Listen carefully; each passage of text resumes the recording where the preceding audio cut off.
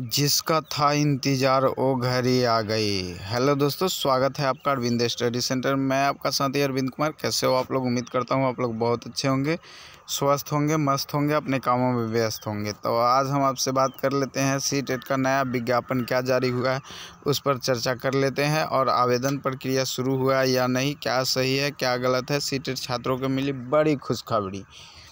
तो वीडियो को स्क्रिप मत करिएगा पूरा देख लीजिए और आपको दूसरा वीडियो देखने का ज़रूरत नहीं पड़ेगा। तो हम आपको बता देते हैं कि सी टेट का नया नोटिफिकेशन क्या है।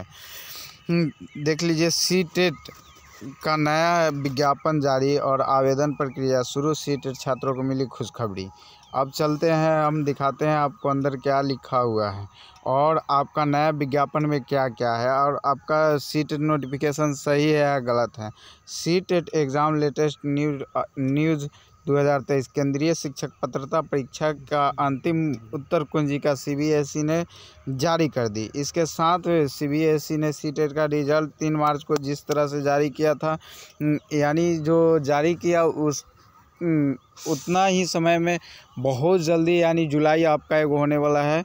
और जुलाई नोटिफिकेशन के संबंधित है। इस वर्ष सी टेट का रिज़ल्ट में कोई गड़बड़ी सामने नहीं आएगा, क्योंकि पिछले बार जो एग्ज़ाम ले रहा था, वह सीबीएसई ने लिया था। लेकिन इस बार जो एग्ज़ाम लेगा एन टी ए लेगा, वही आपका एग्ज़ाम लेगा। और जो गड़बड़ी सामने देखने को मिला, वह गड़बड़ी नहीं मिलेगा। और आपको बता दें कि अट्ठाईस दिसंबर से लेकर और सात फरवरी तक आपका एग्ज़ाम चला। उसके बाद तीन फरवरी, तीन मार्च को आपका रिज़ल्ट जारी कर दिया गया। तो जिस तरह से सीट ने इतना जल्दीबाजी में अपना काम किया, उसी तरह से हम आपको बता देते हैं कि इस बार जुलाई नोटिफिकेशन आपको बहुत जल्द देखने को मिलेगा। फ़िलहाल इतना ही। कैसे लेगा? हमारी खबर अच्छी लग गया होगा तो दोस्तों के साथ शेयर कर दीजिएगा।